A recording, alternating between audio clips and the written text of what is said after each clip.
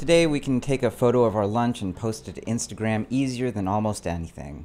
It's effortless, and because the software, especially that type of consumer software, is just top notch. But isn't it weird that we go to work and we don't get that level of quality? We're still emailing spreadsheets around or getting on the phone. Now, let's take it further to the battlefield. The world's greatest fighting forces, the United States Department of Defense, they don't have that level of quality of software.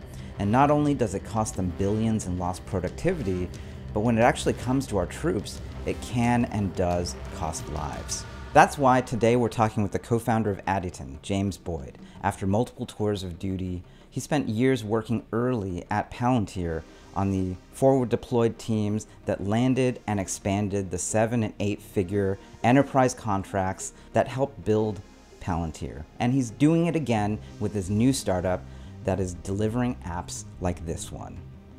Mustr is the online identity and communication platform that's spreading fast across the US military. Adyton is proving that you can build highly profitable, high growth businesses in defense tech by building products that matter, that create value with impact, and make the world safer and more stable. Defense tech is on the rise, and James and his team are on the forefront. Let's get started.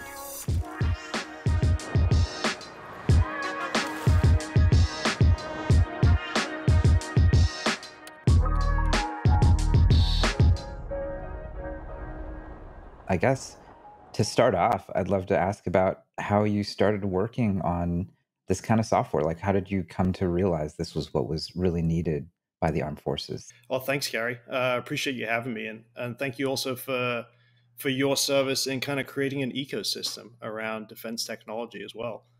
Yeah, I mean, I guess that at the end of the day, this is a very personal thing that we're actually doing here. Uh, I guess it was 2018 October timeframe, 2018. And my brother had just gotten back from Afghanistan, where he'd been out in eastern Afghanistan in the valleys out there blocking ISIS. So their whole unit is focused on preventing the resupply of ISIS elements through Pakistan.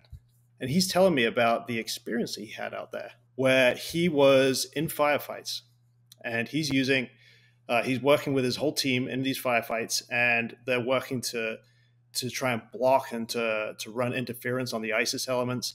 And he needs some help. And he's got this army issued device. And they've ripped out the Wi Fi chips and they've ripped out the LTE chips. So you have this army issued Android device. And he's trying to use that to coordinate with the rest of his team and to call for air support. And these are and really, he's under really fire at that moment. Absolutely, yeah. He's in a firefight, and he's trying to call for for air support, which is really, really essential in these kinds of situations. And because the armies removed these chips, and you have to, because frankly, mobile is a really difficult thing in this kind of environment. You have all the security challenges, you have connectivity challenges, you have the whole compliance challenge as well. He realizes that he can actually send WhatsApp messages to his Afghan partner force. So he's like sending text messages in a firefight saying, hey, you guys got to go to the left, you got to go to the right. And he's finding that, hey, when it comes time to actually talk to the US personnel, he can't actually do that. And I'm listening to this I'm hearing how they have the comms set up. And I'm realizing that, you know, you listen as a brother and like this is something that's very, very painful to hear because you don't want to think of your loved ones in harm's way. And I'm listening as somebody who used to wear the uniform. I was a special forces soldier. And you think about your friends that are also in the same kind of situation. And then you also hear this as an engineer and you're like, wait a minute, why are we trying to push grid coordinates over a 16 kilohertz voice channel? Like this is not the right solution for the problem. And you realize hey somebody actually has to do something about it. And you know i think you look in the mirror. And Garry you've done a video where you talk about creating value in the world. What's the unique value that you're actually able to create? And i kind of look in the mirror and say hey look you're a special forces combat soldier. You were trained to be an expert in understanding austere military communications. I've had the opportunity to work at palantir where i work with first class software engineers. We built amazing products. And we've also created huge enterprise businesses working closely in partnership with Special Operations Command to deliver amazing capabilities out there. And you realize, hey, there's not too many other people in the world that can go and do this stuff. And so you feel a sense of responsibility to go and do this. I guess I really feel that because there's just this fundamental need, especially for an armed forces that in a lot of ways gets the best tech, right? But for software, for the software piece to fall down so thoroughly um, and for something that you know you and I sort of just take for granted. You know, in our civilian work, it's a matter of just opening up Slack and being able to talk to people, right? But for to to realize, oh, that's not actually a thing that is accessible to you know hundreds of thousands of people, uh, you know, in their normal work because of you know probably really good reasons too, right? I mean, security and compliance are all of these things that are really quite important.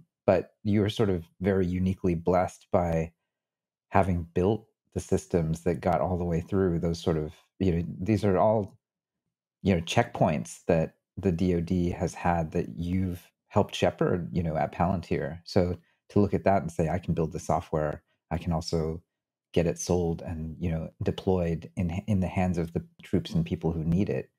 Uh, that's a really big responsibility. It's something that we feel. You know, this is it extends beyond like yeah, we're we're building products that make a real impact on end users. We have units that use our software and say, hey, like this is your software has kept service members alive because of what you built. But there's this also other responsibility, which is actually setting an example for others. You know, there's this wealth of innovation that came from the first generation of the defense industrial base. You think about everything that happened in the 70s. You had the interplay between the universities with industry, with venture capital, and you created all the technology that powers the internet, Siri, AI, uh, and went on to to create the kind of amazing hardware that we see in the DoD with stealth fighters and things like that. But it's time actually to, to really catalyze the next generation of an ecosystem where we can take this amazing technology that Silicon Valley builds, where we have these phenomenal engineers, phenomenal designers, you have deeply motivated people and like liquid pools of capital, which is seeking an opportunity. And we can actually say, hey, let's combine these forces again and let's actually bring around the software revolution in the DoD.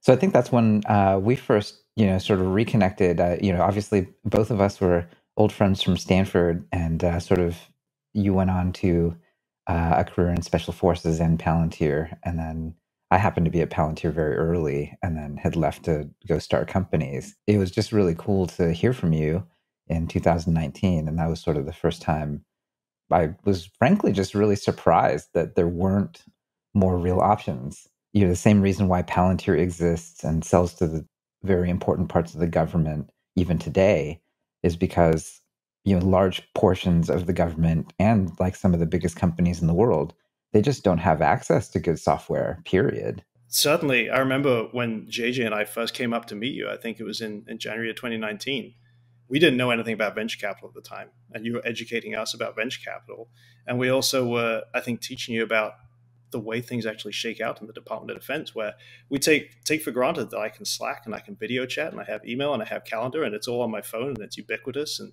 and that's just not the way the world works for the DoD. The DoD is still powered by notebooks, pen and paper, and clipboards. And really, there's this huge opportunity to to create this transformation and actually make the shift to mobile and shift to digital, generate all this data that creates a lot of visibility and insight for the enterprise and uh, the kind of information that leaders need to make decisions, but also creates this deeply uh, satisfying, high quality software experience for end users. And I think that this presents an opportunity to really show the world that uh, you can do startups in the defense sector, that you can take a bottoms up approach to this and change the way some of the procurement happens as well. So that that sort of led you to build um, the first version of the product, which is called Mustr. Talk talk to me about that. I mean, it sounds like there was already sort of a very impressive um, case study that has come out of uh, real live active army brigades using it. Yeah, uh, we spent probably a year building the underlying technology. And like this is not very sexy, I think, for, for most folks to think about security and compliance and connectivity. Like, these are not sexy things. Identity, messaging, like sort of the things that you would expect um, for a consumer app that allows people to communicate and collaborate. Oh, totally. If you wanted to just go build an application for consumers to, to send cat pictures, you're going to go over to Google Firebase and like life's going to be really, really easy. But when you start layering on the DoD compliance regulations, it becomes much, much harder. And you start thinking about nation state actors trying to penetrate software. It's a, it's a significant challenge for the developer. And so we built out Mustr as the first product launched on top of this technology stack.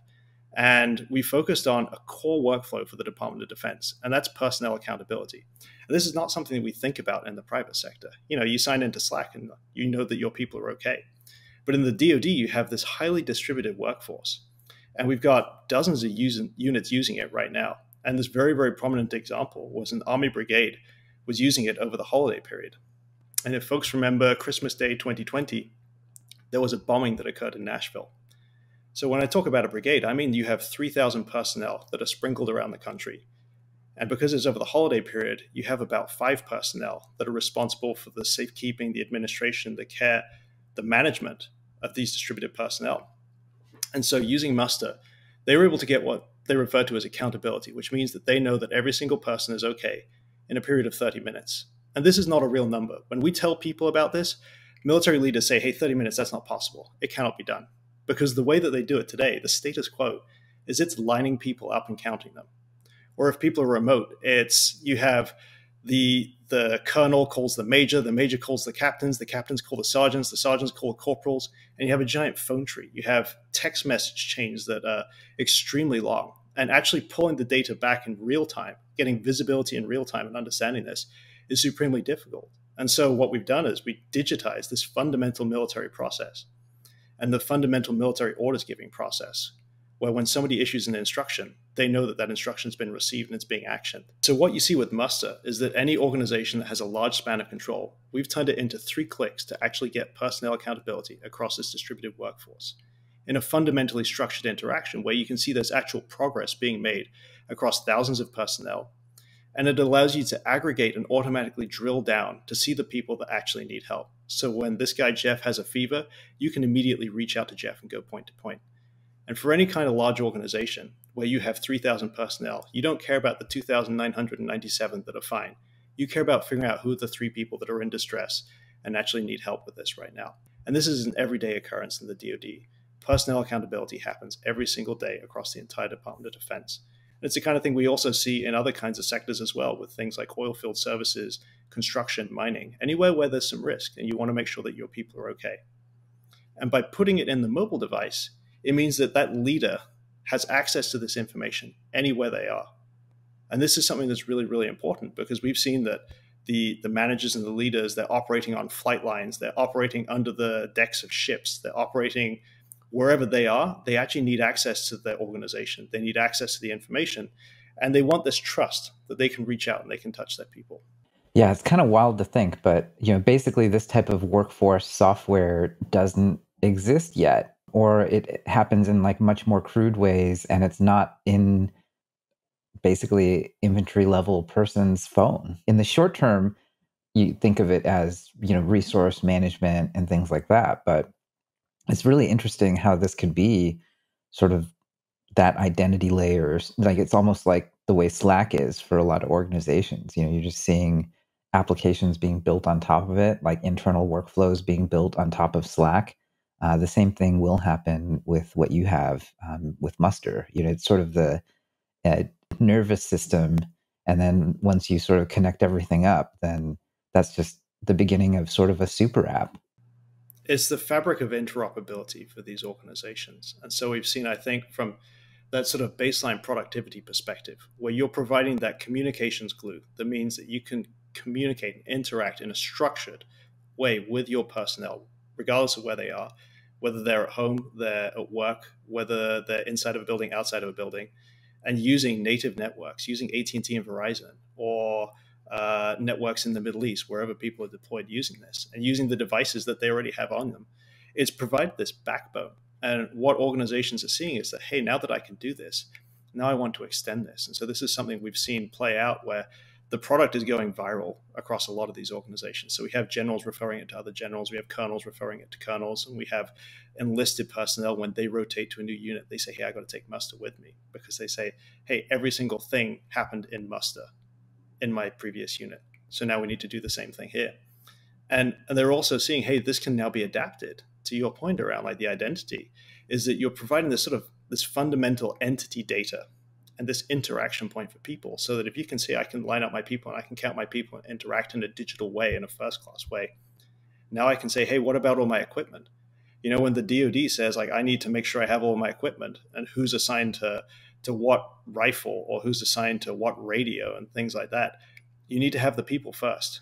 And that's where we see Mustr as this kind of backbone, not just from a product perspective with the, workflow, but also the data perspective where now you can start to say, hey, like let's keep track of all of our equipment or all of our vehicles and our maintenance and link it all to it. And that's something we've seen uh, is push for expansion. So there's some rapid innovation organizations in the Department of Defense.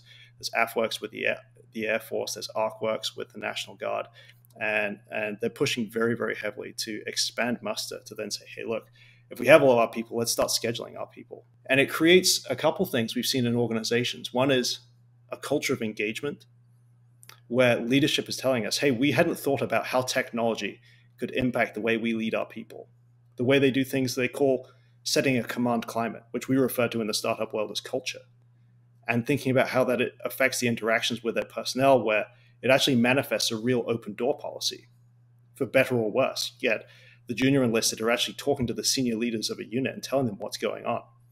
It also means that you have this kind of new efficiency where we've seen units that will immediately get some information through Mustr and issue an order 10 minutes later.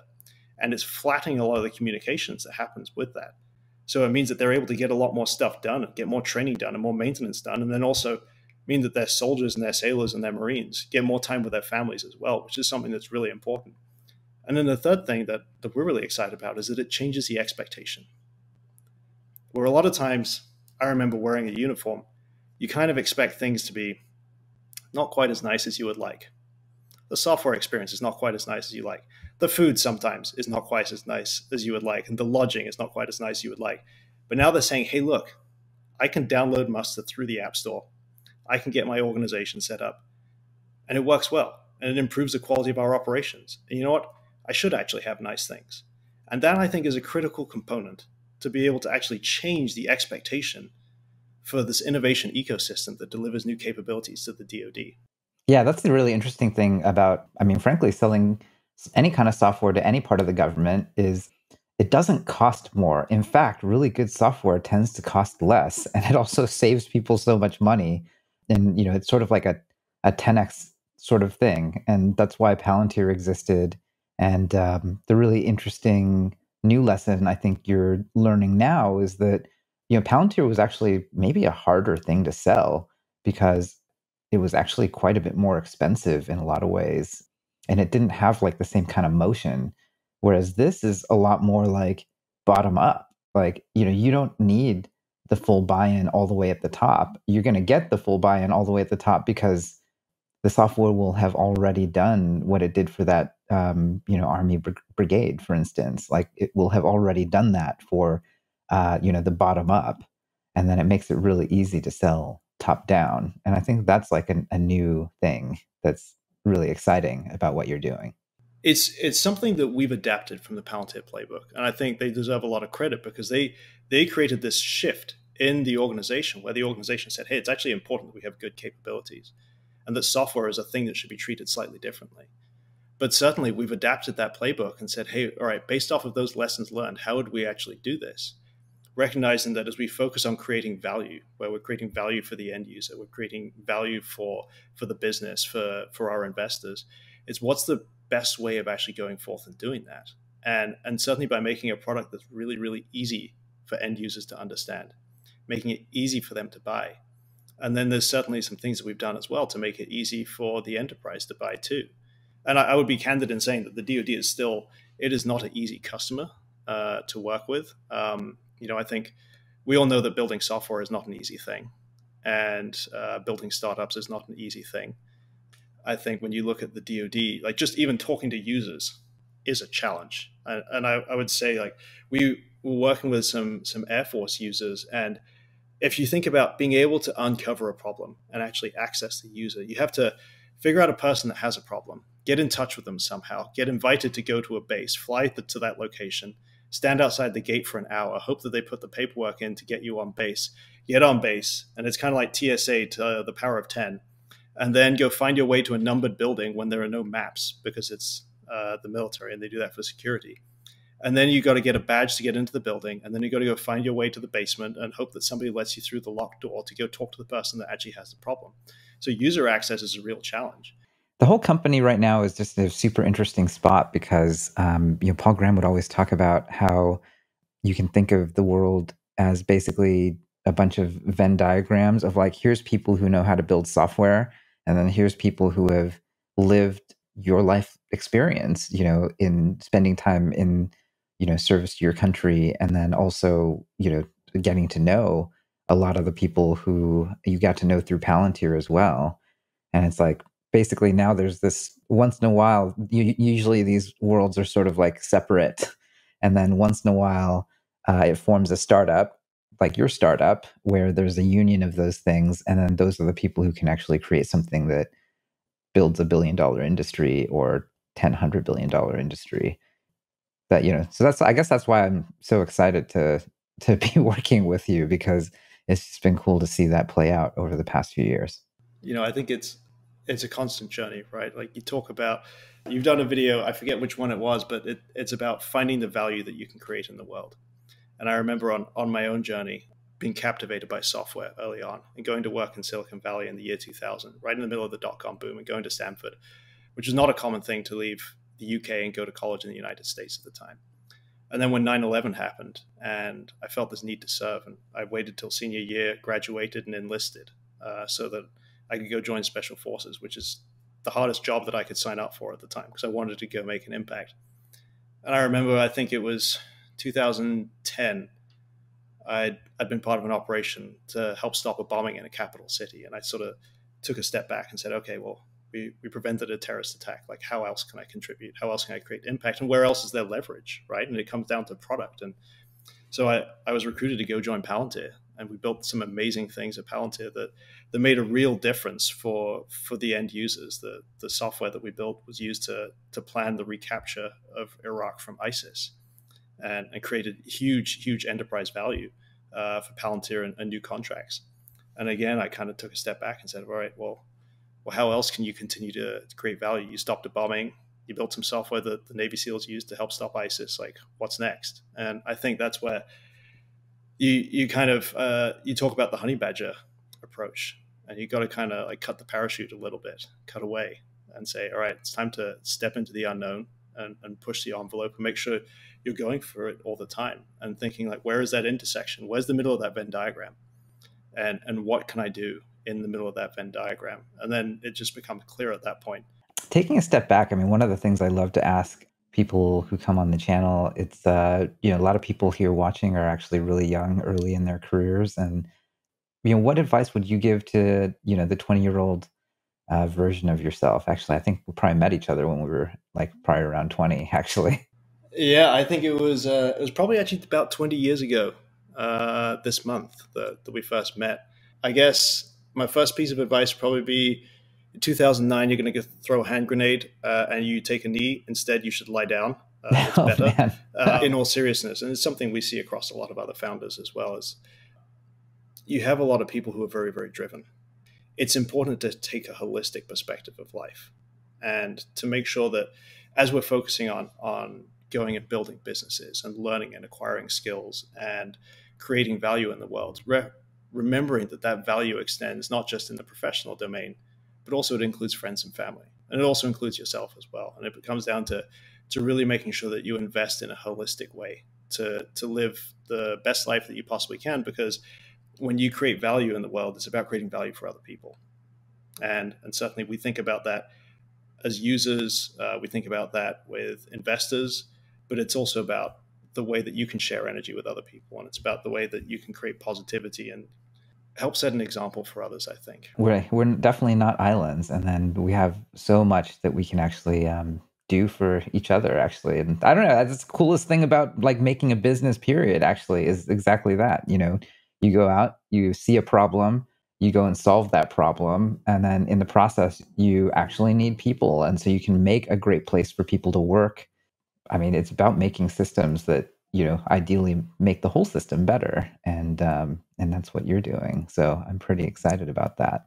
Some closing thoughts might be around what was it like to be able to look at Palantir so early when there was sort of that first sub hundred thousand dollar contract, or you know, sort of th- even like making eighty thousand a month or something, but then to be able to grow that ten or hundred x is you know that's something that you were able to do and what was the most surprising thing what was the thing that really just stood out to you from that experience and the experience that you're seeing right now I think there was like a very, very deeply iterative approach. I mean, I remember when everyone in, in BD and Washington, D.C. sat around the same table together. I think what we were acutely conscious of is that it was a huge team effort. You have guys like Doug Philippone, you have uh, everyone that's pushing so hard to try and create create this better reality for software. In that case, it was in the intelligence, the operations space. It took a huge team effort. It was hugely iterative. And it was very much, it would, you would just walk into a wall and find out hey, what's the where's the doorway? I'm just going to keep walking into the walls until I can find a doorway. And and what we saw is that there's there's a lot of physics to the actual marketplace. There's dynamics that you can actually harness that you can then use as a lever to, to magnify your message, to magnify your reach, and actually create access across the organization and create adoption and, and create demand as well. And ultimately, that demand is what brings better products into the marketplace. And so I think seeing that grow it was a it was a long journey, but I think it was also an amazingly fulfilling one. That makes a ton of sense. Taking a step back, Adyton is hiring. I guess what's the best way for people to sort of get involved? Adyton.io. Yep, absolutely. There's a form on the website. If if you want to join our team, then uh, you can go right there, drop your contact information in, and um, we're absolutely looking for really, really passionate front end developers, uh, looking for full stack developers. We're building a whole team. And then I would also include uh, we're looking in particular for, for veterans who have a lot of end user empathy with an eye for product. And there's some amazing people that that we know from our past experience. Um, but we're looking for people who say, hey, look, like I want this to be better. They got to feel it in their bones that they want this to be better. And we're pairing those people up with engineers who just have this love for creating product with mobile technology, who love like the edge cases are delightful to them. You know, it's a challenge for them. It's a puzzle. And so, if there are folks who have a strong sense of purpose, who want to work in a high performing team environment, we have a team first culture, and who are thinking about their career opportunities, and you know, are seeing there's the next there's the next cat picture messaging application, there's the next ad tech thing, and if they want to build software that people use every single day to to go fight wildfires, to to go um, move people around in the Middle East to, to go keep people safe, uh, then we're a place where you can actually combine your creativity with product with a sense of mission and really build value that has impact. James, thanks a lot for coming on the channel. And I mean, thank you for letting us invest and be a small part of uh, this very, very big and important journey. Garry, thank you for the adventure.